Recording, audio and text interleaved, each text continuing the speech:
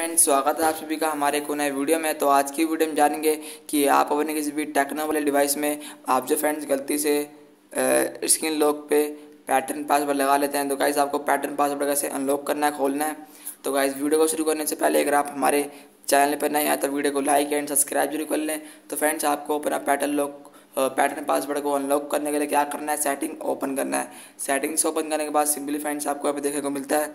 Interface में scroll करने के बाद सिक्योरिटी। तो आपको यहाँ पे क्लिक करके फ्रेंड्स, आपको स्क्रॉल करने के बाद यहाँ पे दिखेगा स्क्रीन लॉक। तो आपको यहाँ पे क्लिक करना है। क्लिक करने के बाद फ्रेंड्स, आपको यहाँ पे अपना करंट पैटर्न डाल देना है।